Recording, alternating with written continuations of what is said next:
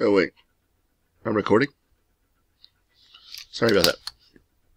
Just, uh, trying to, uh, you know, prevent COVID-19. Um, hold on. Yeah. Crap. I lost the Lysol I was drinking. Uh, regardless.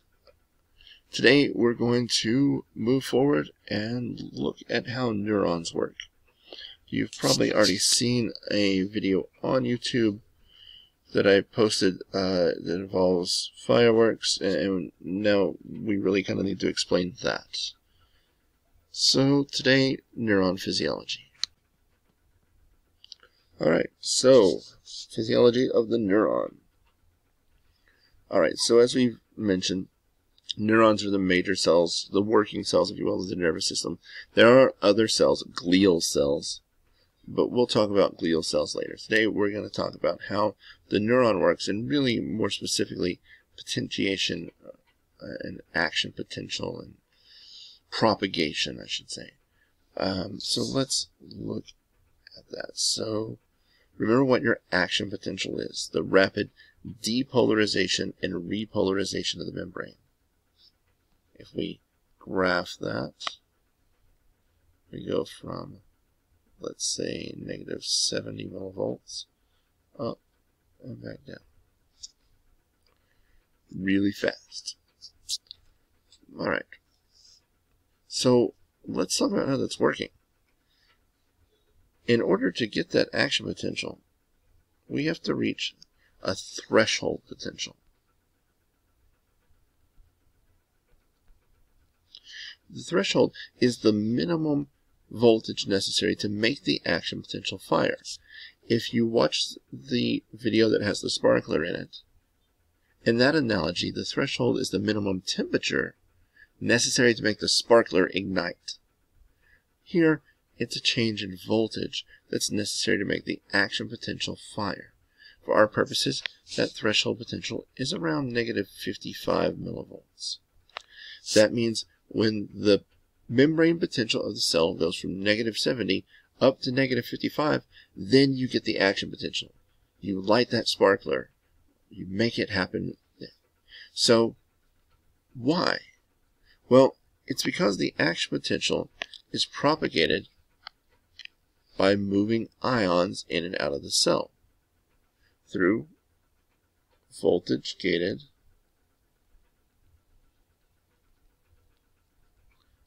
ion channels.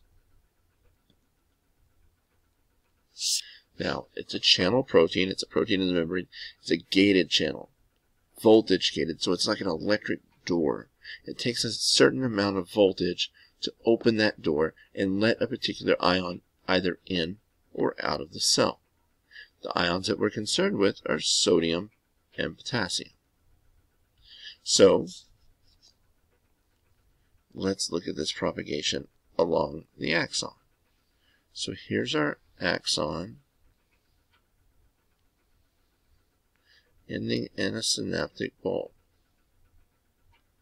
Now, what's going to happen here is we're going to have voltage gated ion channels in the membrane of the neuron.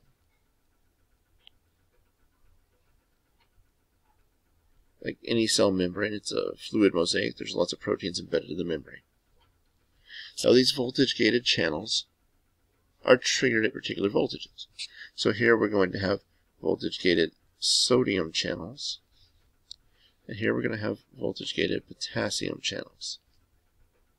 So what happens is when we reach that threshold potential, when we reach that negative 55 millivolts, negative 55 millivolts is the voltage necessary to open those voltage-gated sodium channels. Now remember, on the outside of the cell, we've got a lot of sodium. On the inside of the cell, we've got quite a bit of potassium. So sodium wants to come in. So sodium comes in. If we're looking on our graph, at that place right there, that means that voltage goes from that negative 55 threshold. It's going to go up and then back down. Now, it's going to go all the way up to, let's say, 30 or 35 millivolts. That's more than enough to open the next channel in the line, which is going to let sodium in. It's going to open the next channel in the line, which is going to let sodium in. And it's a chain reaction, just like lighting that sparkler. When I lit the sparkler in the other video, it's self-igniting from that point. Once it lights, it just keeps going. I don't have to light it every two inches. It's going to burn all the way down. Now, on the other side, these are voltage-gated potassium channels. So then that voltage is also enough to let potassium escape. So you get depolarization and repolarization of the membrane.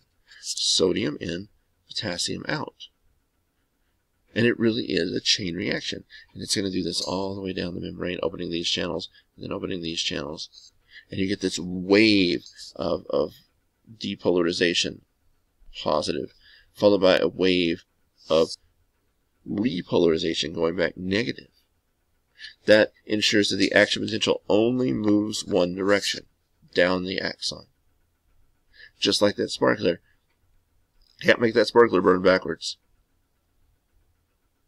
It only goes one way. So this is really fast, right? We're looking at the, the milliseconds here. It's really not that fast. It's not fast enough, I should say. Think about moving. Think about brain to feet. Or even brain to hand. When you move your hands, you don't have to think about movement and then it happens. It happens at the speed of thought. There's no delay. There's no perceptible delay for us. That's because we can speed this up.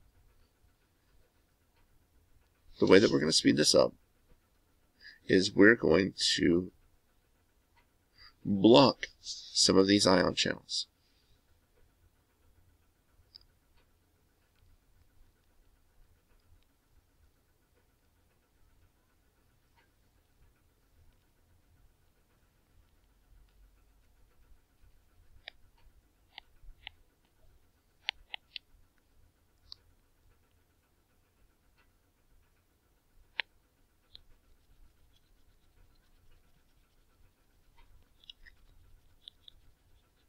As always, expertly drawn.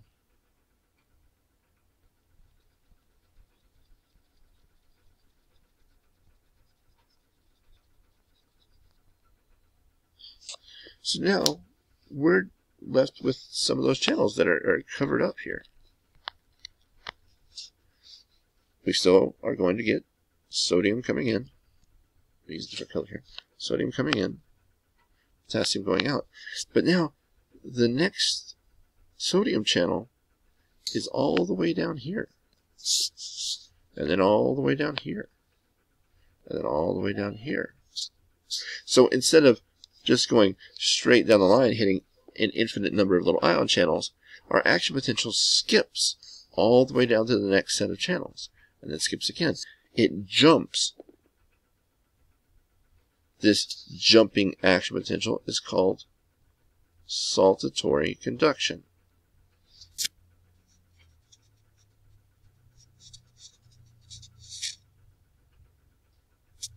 Saltatory from the Latin to jump. These little places in between those blacked out areas.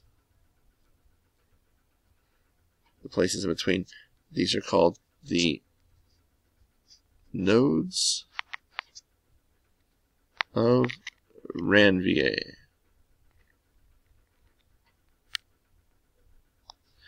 The nodes of Ranvier, where we find the ion channels on a myelinated axon.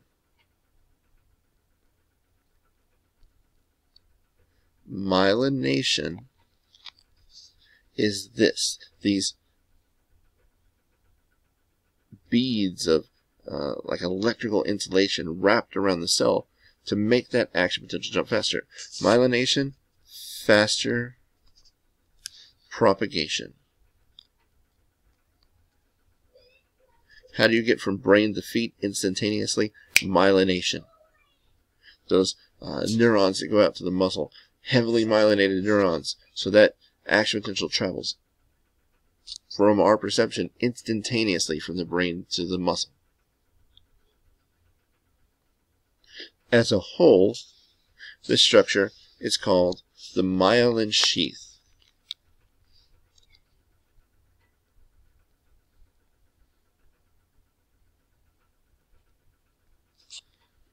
And it speeds up that action potential, propagation of the action potential.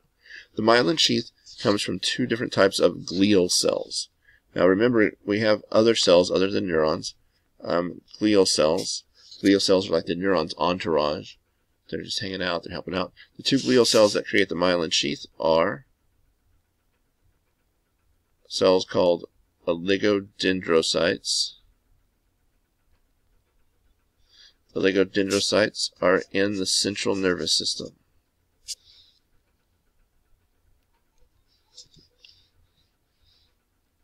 Our other cell is called the Schwann cell. And it's going to be in the peripheral nervous system. So oligodendrocytes in the brain and spinal cord, Schwann cells in the nerves and things in the peripheral nervous system. Now, you've probably heard of demyelinating disease like multiple sclerosis. And, and multiple sclerosis, uh, the disease attacks these, which is obviously going to slow down propagation of the action potential, and eventually scar tissue builds up. And scar tissue is not conductive tissue. It doesn't conduct the action potential at all, so it will completely disrupt that propagation.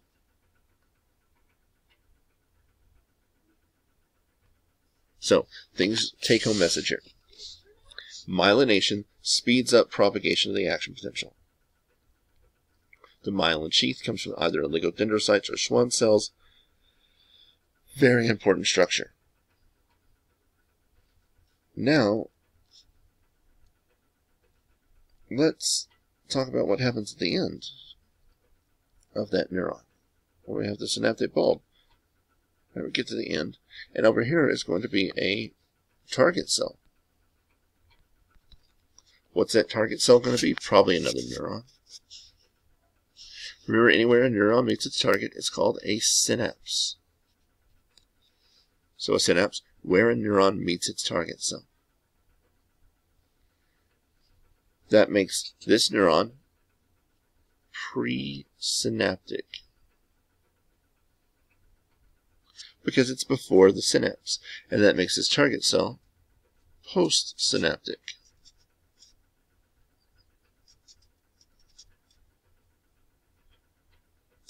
Because it's after the synapse. Now we do have two different options here for synapses. Sometimes we have this, and they're touching each other. And now what's going to happen is that action potential is going to jump down, it's going to jump down, it's going to jump down. She's going to jump to the next neuron, or to the next cell, the next neuron. It's basically a gap junction. A gap junction is an el electrical synapse.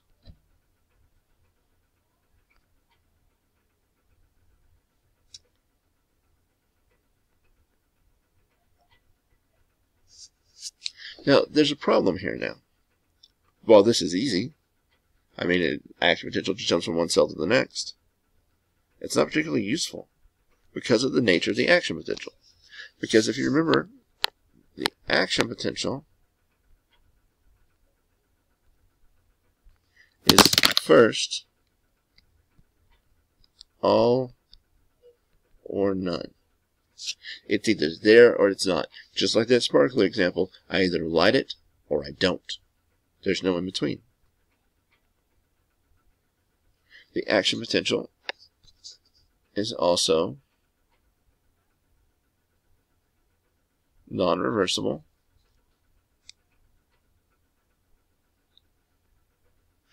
Not going backwards. It's non-decremental.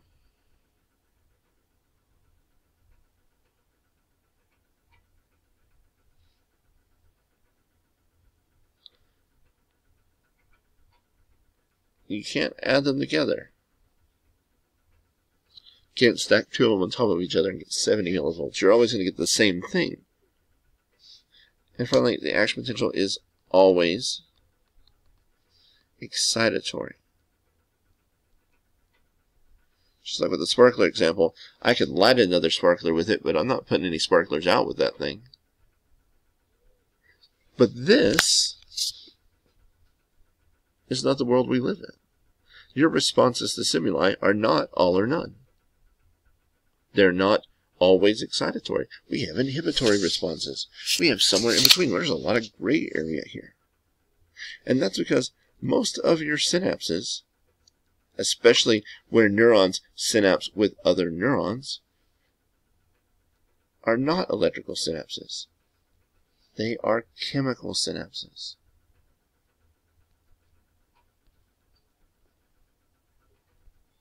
A chemical synapse uses a neurotransmitter.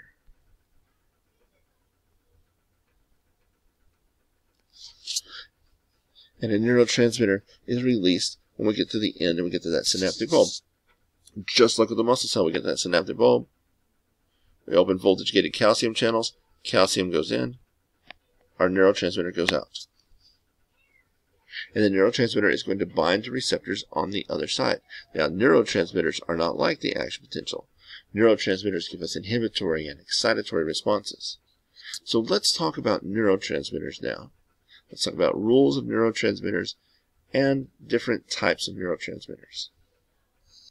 Actually, let's stop here and start another video so that oh, I won't have you for, you know, half an hour or whatever. So, your next video after this is entitled Neurotransmitters, and we'll move from there.